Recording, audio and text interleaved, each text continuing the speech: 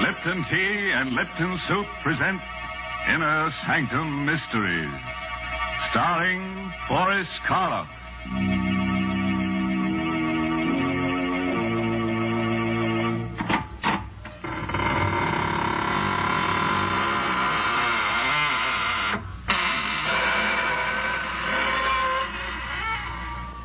Good evening, friends of the Inner Sanctum. This is your host. Welcome again through the squeaking door to another session of mystery, murder, and madness. Oh, excuse me if I don't get up, but I'm all worn out. Yes, I've had a hectic few days with an old friend who just blew into town. He's one of those earnest souls who insists on doing everything for himself. Consultations with the monument makers, the grave diggers, fittings at the coffin maker. Yes, quite a busy body. But then we only die once, you know. our story is called The Corridor of Doom. And our star tonight is a man who gives even me the shakes. The famous star of stage, screen, and radio, Boris Karloff. Have you thought about death lately? Not the fact that it's inevitable, that it must come to all of us someday, but rather how it will come. Do you think of it as a sleep and a waking, of a sudden transition from one state of being to another, or to a state of non being? John Clay was one of those people who never thought about it at all until he found himself walking down that dim and endless passage which but suppose we let Boris Karloff in the role of John Clay tell you about it himself. If your blood pressure will take it, put out the lights and come on a little trip down the corridor of doom. When I woke up, I had no idea of where I was or how I'd gotten there. I was lying on a hard white bed in a clean white room. There was a dull pain in my abdomen. Touching it tentatively, I felt a bandage. So that was it. An operation. But for what? And where was I? At that moment, the door opened, and she came in.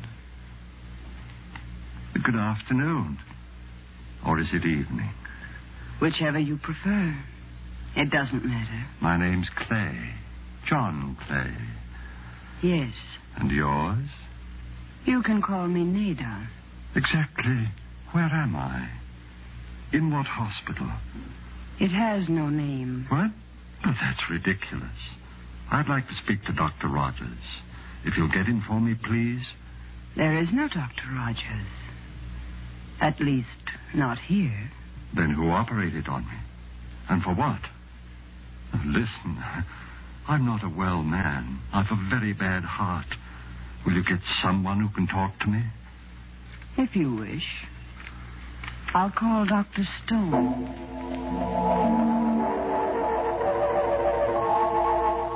A chill crept through my bones. It wasn't cold. It was fear. Unreasoning and abysmal fear. The door opened again and there stood a heavy-set man, his hair flecked with gray, and with him, my son-in-law, Alec Bartlett. Alec, I can't tell you how glad I am to see you. Hello, Father. But why are you standing out there? Why don't you come in? Oh, no. No, I shouldn't advise it, Mr. Clay. And why not? And why? Oh, was it you who operated on me? Yes. I'm Dr. Stone. Why wasn't Dr. Rogers called in? He's taken care of me for years. There wasn't time. It happened during the night. Acute appendicitis. And even as it was. Even as it was? What? And why are you dressed that way, Alec? All in black. Well, it's customary. After all, you are my father in law. Of course I am, but. Now, look, Alec. You've got to stop being so mysterious. You know about my heart, what any sudden shock will do. I don't think you need worry about that anymore, Mr. Clay. And as far as the mystery is concerned, this initial period of adjustment is always a little difficult. Difficult? Do you realize what it's like, lying here helpless, completely isolated, as if I were all alone in the world? Or isn't there someone I can talk to?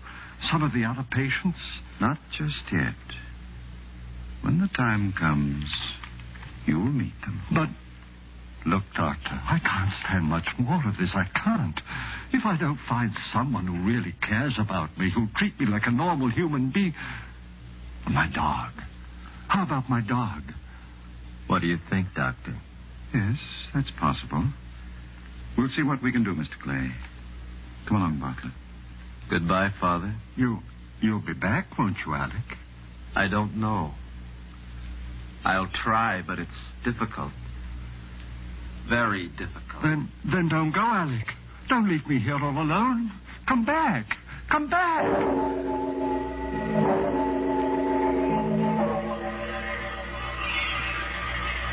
I waited and watched, watched and waited. Then the door opened, and there was the doctor again. There was a small, thin faced man with him this time, wearing the white coat of an orderly and carrying a black box with a handle. My dog. You brought my dog. All right, Martin. Give it to him. Yes, sir. Oh, thank heaven, now at least. Come on, Carrie. Come on, boy. Get up. Wake up. Why, what's the matter? Carrie. He. He's not asleep. He's dead. You wanted him, Mr. Clay. But. But why didn't you tell me? When did he die? How? How old was he? Eleven and a half. Maybe twelve. Pretty old for a dog. That's probably why he could come. What do you mean? What are you trying to do to me? Don't you realize I'm a sick man? Easy, easy, Mr. I won't Clay. take it easy. I won't stay here another minute. I'm leaving right now. Sorry, but I don't think we can permit it. Oh, well, we'll see about that. You're getting yourself all upset for no reason, Mr. Clay, making it very difficult for the rest of us. Martin, you'd better let me have some of that, that bottle there. About 10 cc's. The uh, red medicine? Yes.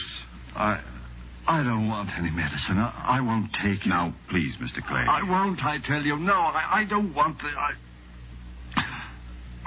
It, oh, it's awful. Salty. It. It tastes like. Yes. But I think you'll find that it will make things much easier for you. Very much easier. You're, you're doping me up. That's what you're doing. Putting me to sleep. You. You think that when I wake up, I'll, I'll forget about everything. Yes, Mr. Clay. You'll forget about everything. Everything.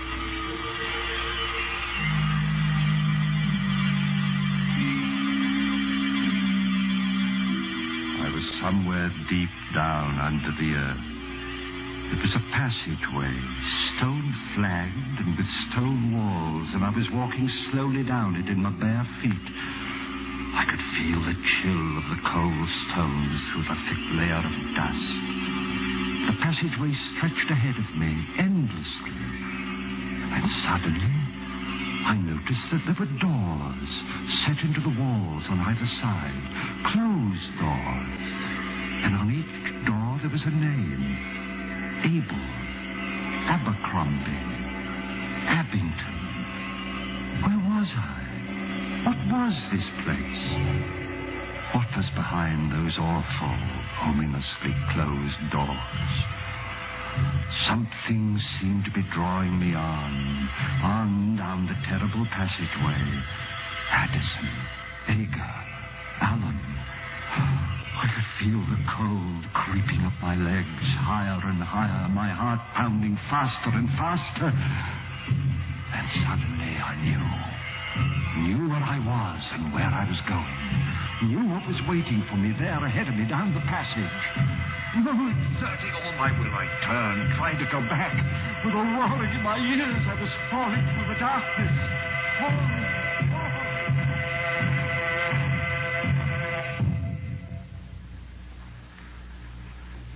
I opened my eyes, I was in that cold, white room again, clutching the blankets with trembling hands.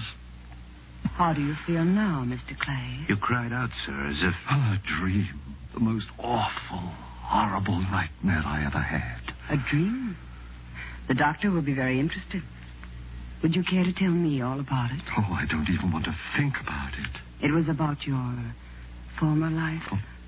Former life. Oh, I'm sorry. I shouldn't have said that. I meant.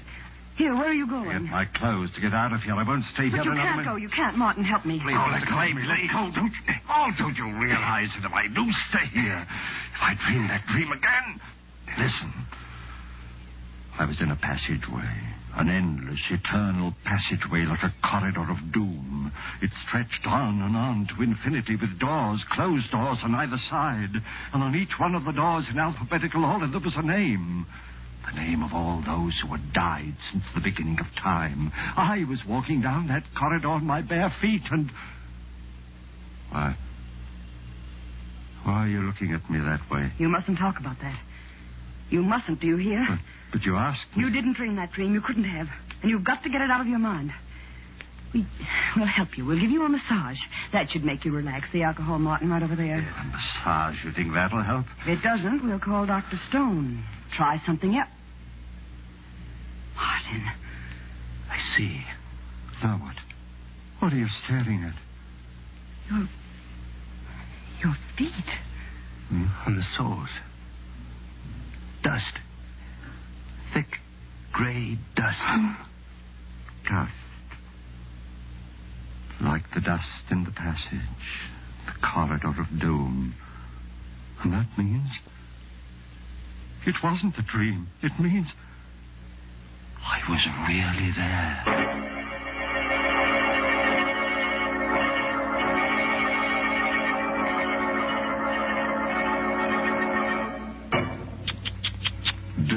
Feet on those nice, clean sheets. No wonder our friend the nurse seemed so upset. Or was that the reason? Maybe she was just disappointed that he still hadn't told her about his operation.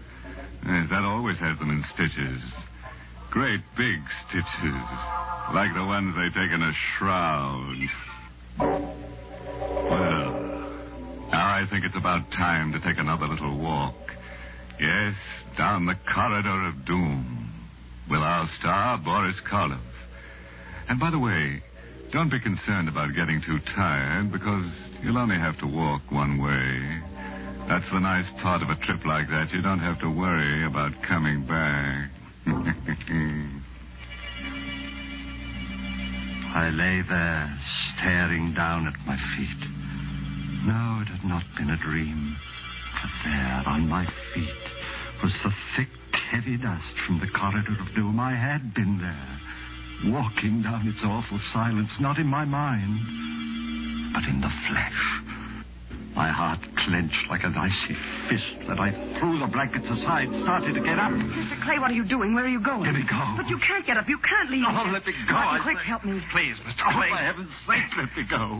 Don't you realize what this means?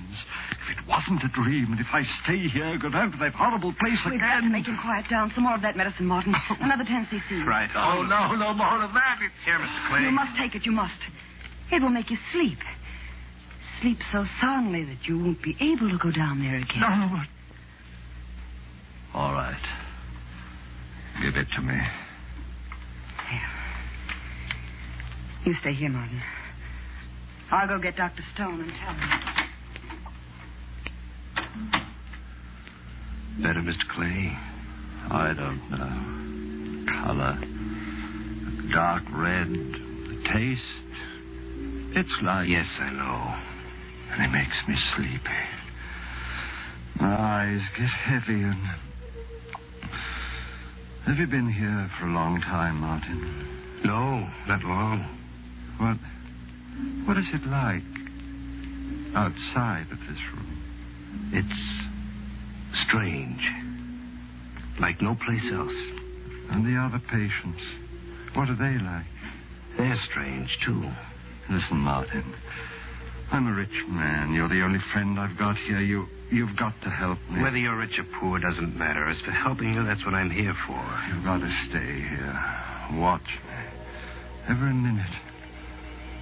My heart. I don't think it'll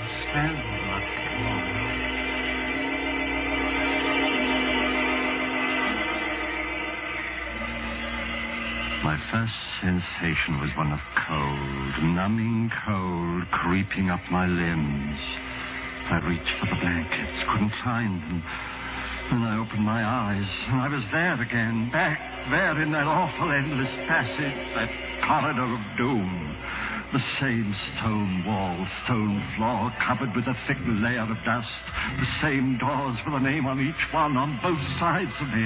But now, now I was up to the bees. That one there, Barbara, next with Babbitt, and then Backer. I tried to cry out, but I couldn't utter a sound.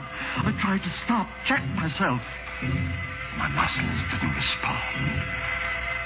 Slowly, heavily, I continued walking on down that endless passage. Past Badger, Baffin, Bagley, past the bees and towards the seas. Towards a door with my name on it. My heart pulsed, pounding with terror. My breath rasped in my throat. Convulsively, I clutched at the wall, forced myself completely around. Then, as if I were fighting against a roaring gale, I drove myself back. One step I took, two, three, then I stumbled. I was falling again, falling through darkness, complete, absolute, unending.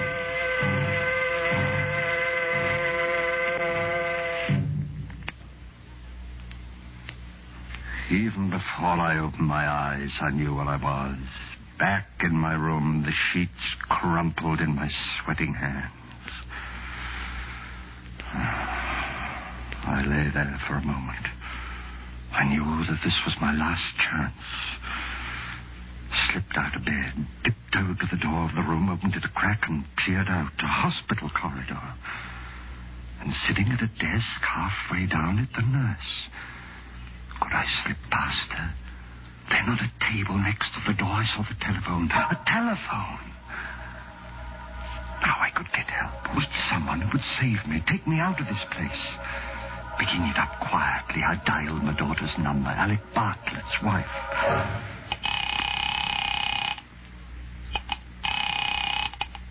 Hello? Jane? Oh, thank heaven. Hello? Jane, it's your father. Listen, you've got to help me. You've got to come and get me. I'm at the hospital. Alec knows where. Hello? Is anyone there? Yes, can't you hear me? Didn't you hear what I said? It's your father and Jane, Jane. Hung up. I heard her, but she couldn't hear me. Something wrong with the phone, her phone. I've got to get hold of somebody, somebody, but who? Dr. Rogers? Oh, might be out. If they come in while I'm phoning. Oh, I know, of course.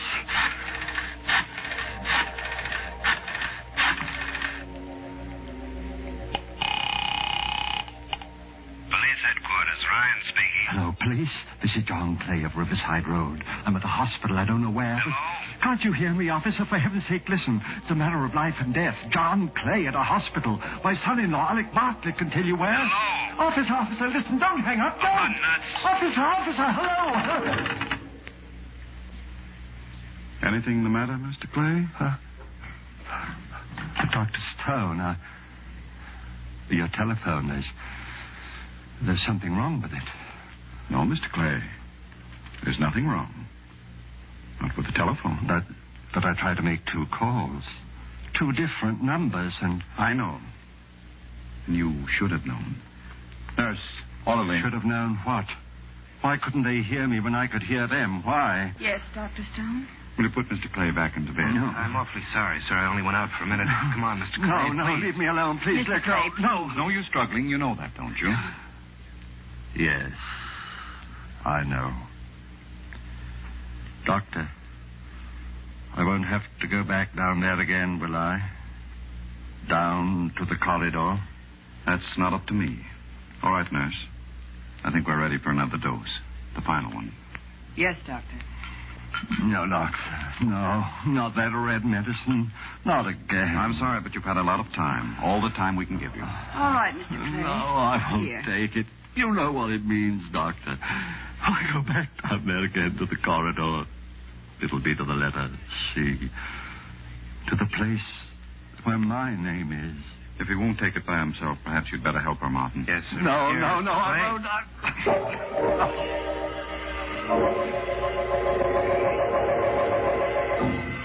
Again, I knew where I was before I opened my eyes. I could feel the dust under my bare feet, and through the dust, the biting chill of the cold stones.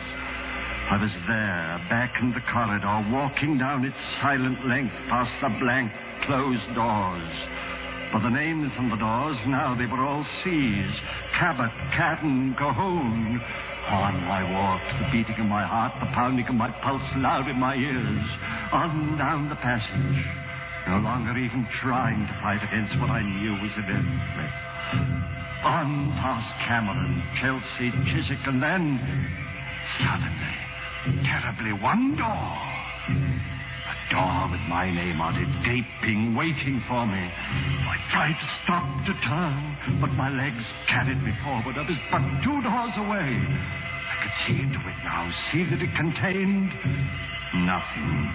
Absolutely nothing, not even a coffin. Just stone walls and a flat stone slab. I was turning, turning to step over the threshold. I made a last of effort. Merciful heaven, help me! Save me!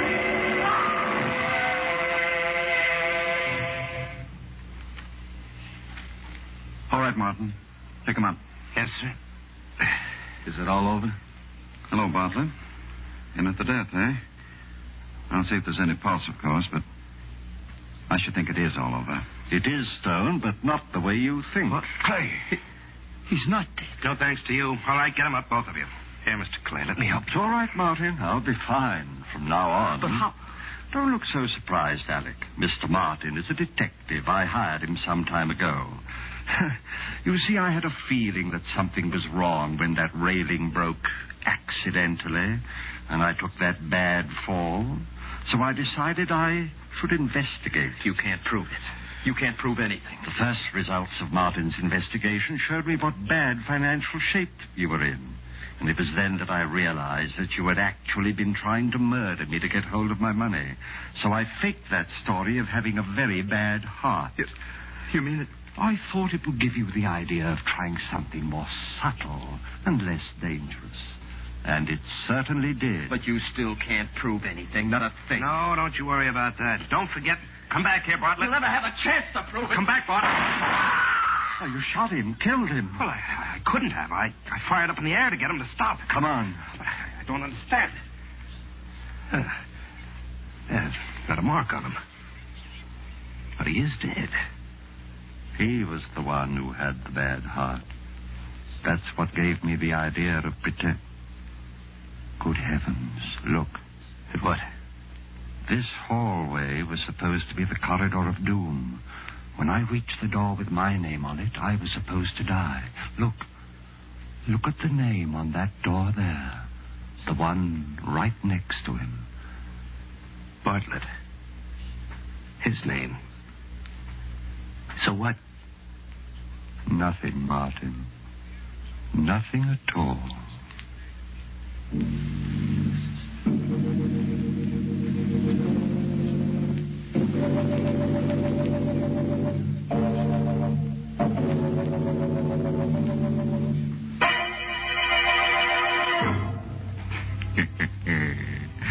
now, where do you think old Dr. Stone got the idea for that little alphabetical graveyard? That's right, for me. Huh? You don't believe me? Then come on home with me tonight, and I'll show you the one in the cellar of my house.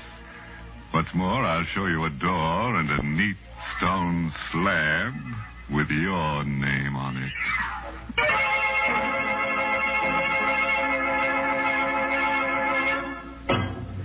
And now, a word of advice. If you should wake up tonight with a sudden chill, find yourself walking barefoot down a dusty stone corridor with doors on both sides of it, don't get excited. Just insist on a doom with a view. Next week's story is about women. Yes, two women who like to be treated rough Choke 'em to death. Shoot 'em, murder 'em. They'll love you for it. And who do you think is going to be their boyfriend? Hmm? That's right. Boris Karloff. Boris Karloff will be with us again next week because who else could love such women? So, if you're in a tender mood, tune in next Tuesday. Until then, good night. Pleasant dreams.